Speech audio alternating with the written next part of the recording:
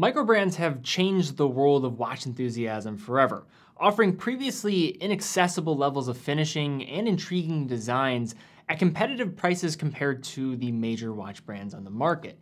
And in this video, we'll compare and contrast three of, I would say, some of the leaders when it comes to micros out there on the market, looking at three different GMTs. Baltic with their Aquascaphe GMT, Farer with their Lander 4, and the Monta Atlas. These three watches I think represent some of the best value when you're talking about GMT watches from micro brands, but maybe just in brands in general. Let's jump in.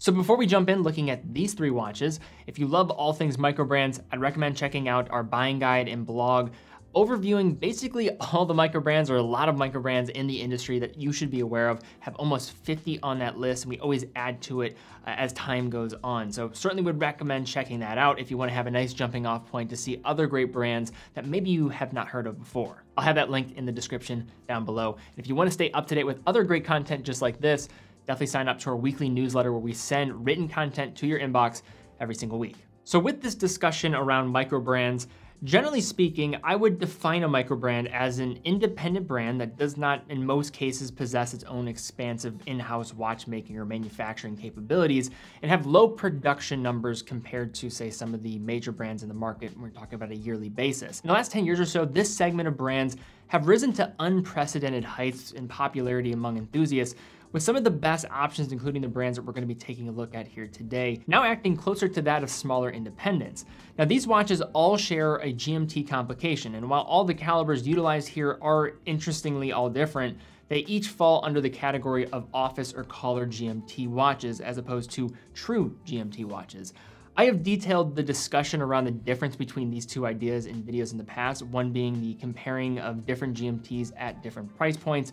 Uh, but in short, with an office GMT, moving the crown in the second position allows an isolated function of only the 24-hour home time hand, not your local hour hand. As in this case, this is what we call a true GMT or a traveler's GMT, which also tends to be a lot more expensive given the higher level of complexity in the caliber itself, and is valued more with its ability to set the time of a changing time zone without stopping the balance or having to move any of the other hands. So with that out of the way, let's dig into more of the overview portion of this video, starting with the least expensive option of our three here at $1,200 on a bracelet, we have the Baltic Aquascaphe GMT. Baltic, based in Paris, France, has risen to prominence since their 2017 debut, largely as a result of their Miyota-powered 50 Fathoms-esque Aquascaphe Diver's Watch. This GMT variant adds a Swiss caliber from a lesser known provider in Soprod, while also tastefully updating the overall look to integrate the GMT functionality. Starting with the case and wearing experience of the Aquascaphe, this 39 by 47 millimeter case is true to size for me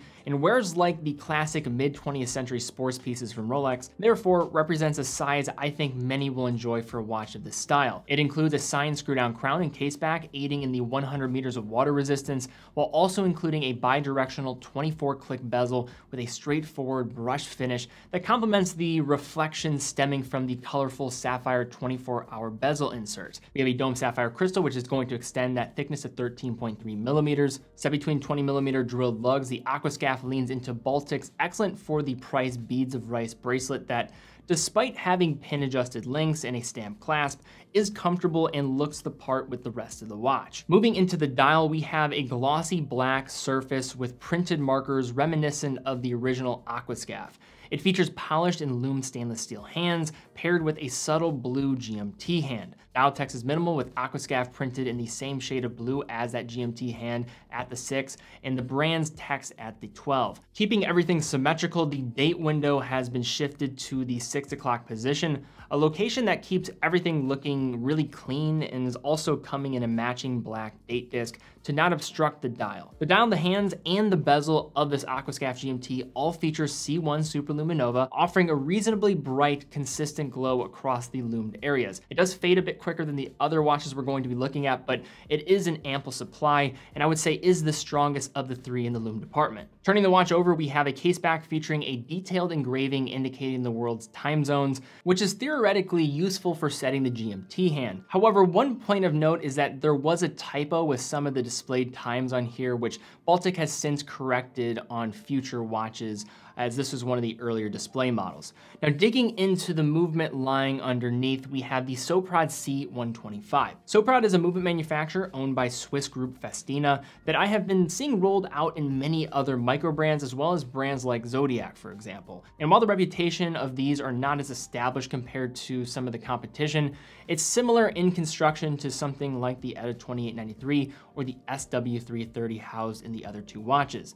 In terms of its general specifications, the C125 offers a 42 hour power reserve, ticking away at 28,800 vibrations per hour, 4 hertz, along with hand winding and hacking seconds functionality. In terms of its accuracy, we tested all of these examples at five different positions. This one here was running at plus three to plus eight seconds a day when testing across those five different positions. Leaving France for a moment and traveling across the channel to the UK, we have the fourth edition of the Farer Lander, known as the Lander 4, a charming GMT watch from a younger Brandon Farer that has, since launching in 2015, already built an impressive reputation for design and quality as well as more colorful executions. The Lander 4 is a member of Farer's GMT collection, with each individual reference offering a unique colorway and its own name, including the striking sea green sunray dial of the Lander 4, named for an 1800s British explorer. On the wrist, the Lander offers a restrained wearing experience compared to many modern watches with a 39.5 millimeter case diameter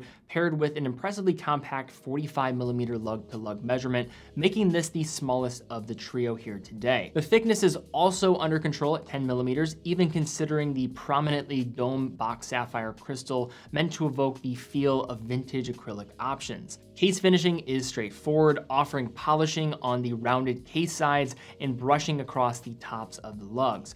At three, Farer offers its signature bronze push-pull crown with an exhibition case back at the rear, with this example leaning into a 20 millimeter brown leather strap with quick release spring bars that doesn't blow you away by any means, but with this watch it works and definitely complements the colorway. A notable Farer signature is the amount of attention paid to the dial, mostly in their eccentric yet tasteful uses of color. Transitioning between blue and green depending on the lighting conditions, the Lander 4 dial is multi-dimensional, with a recessed center portion and circular color match date window. Indices are loom stylized Arabics with secondary 24 hour markings printed just outside. Polished syringe style hands manage time telling with an orange sweep second and red GMT hand, adding further color to this watch. Despite the mix of colors though, the opposite of the color wheel contrast of the red-orange elements works in drawing separation from the green backdrop. One thing I will mention is that it can be a little bit difficult at a quick glance. When it's actually sweeping that second hand, it's a bit easier, but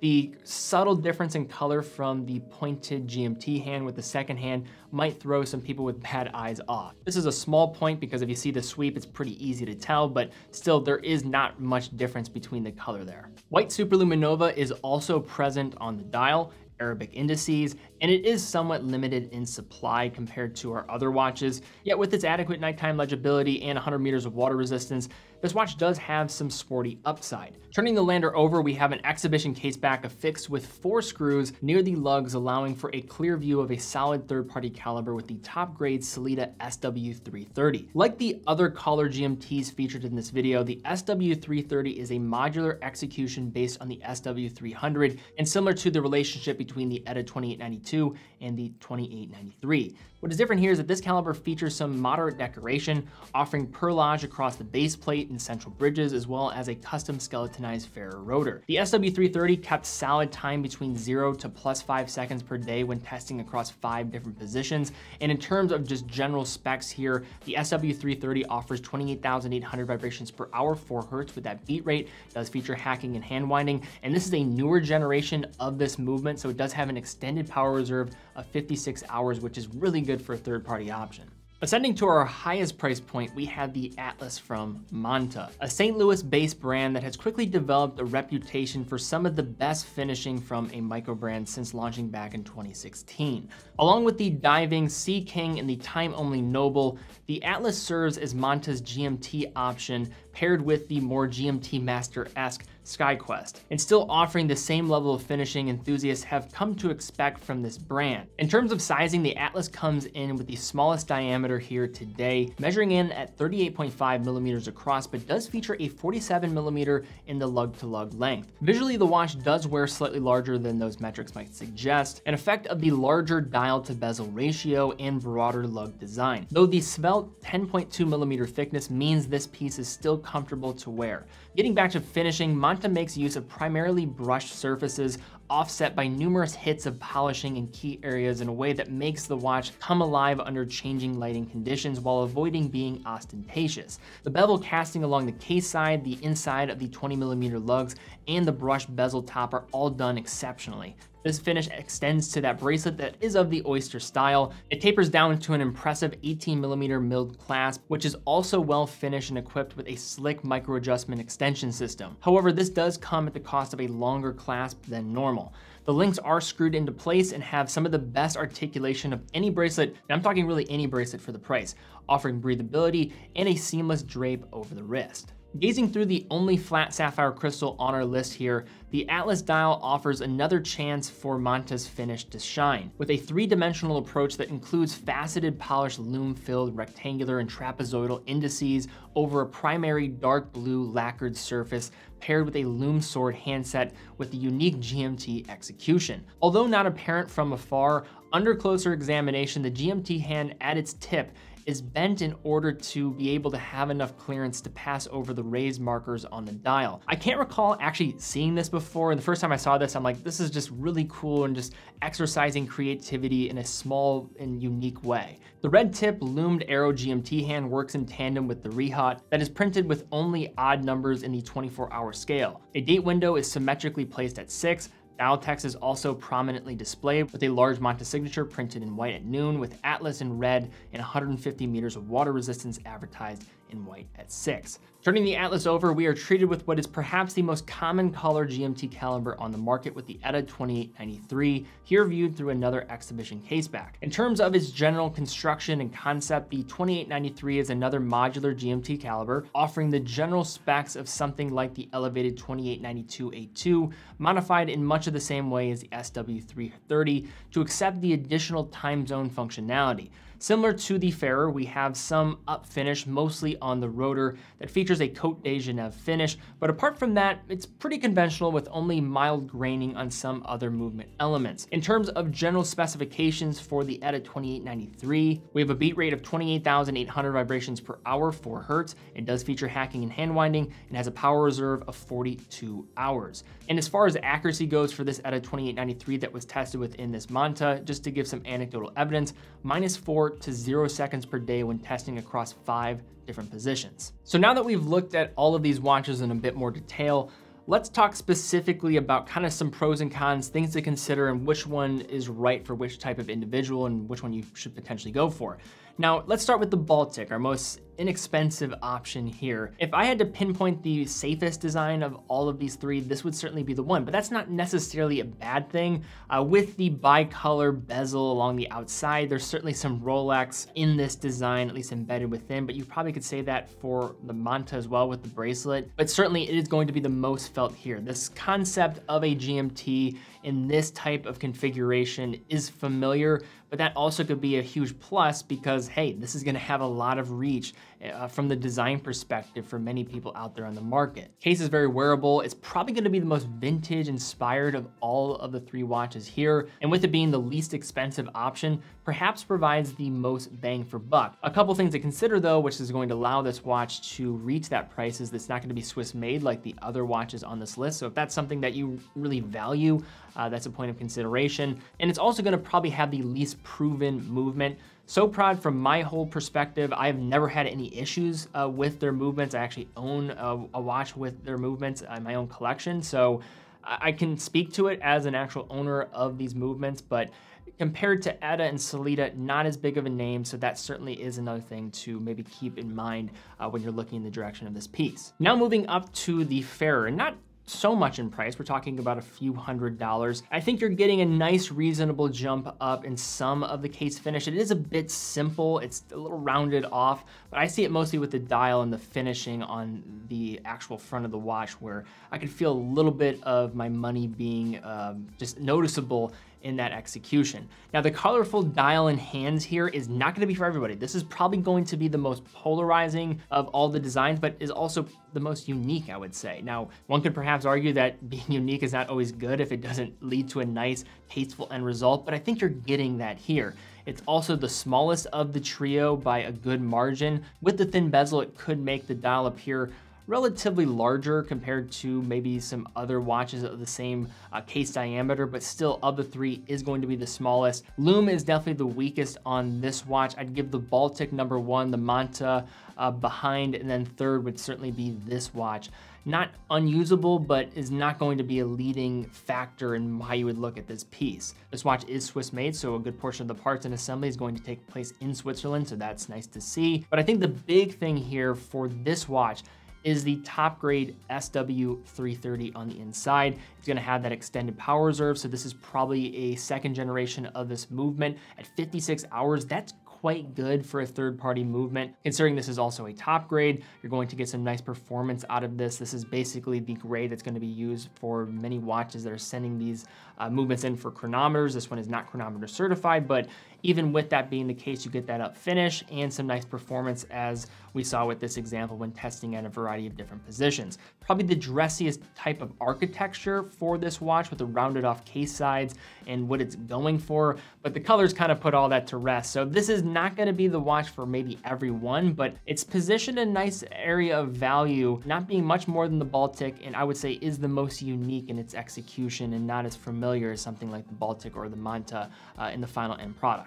And then when it comes to the Monta Atlas, this is by far the best finish watch of the three. I think it's noticeable in the bracelet, the case, even on the hands and the dial itself. This one is a step above when it comes to finishing, no question about it. Movement is right there with the Farer, but probably not going to be to the same degree. The finishing is certainly better on the Farer, and from the looks of it, this is not a top grade at a caliber on the inside.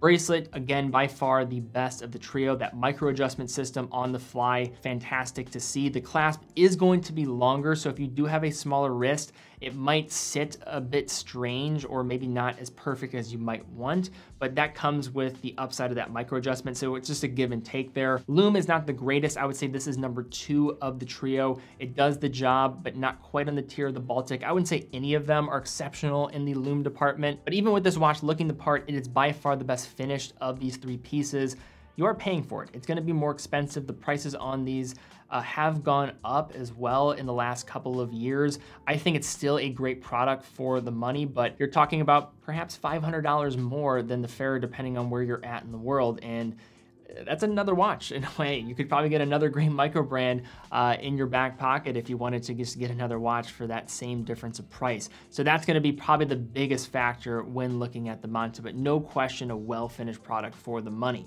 But all right, guys, that is my take looking at these three GMT watches uh, from different micro brands. I think these three brands have ascended to kind of that upper echelon of micros and just what they're delivering for a final end product. They have great reputations. I think they're leaders, and I think a lot of other just uh, upstart brands can learn a thing or two for how these brands operate. And I think these are some of the better value, even outside of this small little world of micros. I think these stack up even well against some of the big brands uh, in the price category and even beat them in many areas. But I'd love to see comments down below. What do you guys think of these three watches? Which one would you go for? Leave a comment. And also, if you enjoyed this video and you want to see more videos like this in the future, please give it a thumbs up, subscribe, hit the bell icon. That really does help out the channel. I don't just say that. I really would appreciate that as well. Definitely check out teddybaldassarre.com, full authorized dealer of over 30 brands, quick and fast fulfillment, dedicated customer support, and also offer a full factory warranty for all of our new products, and have a great selection of pre-owned models as well, where you can buy as well as sell your watch. So definitely check that out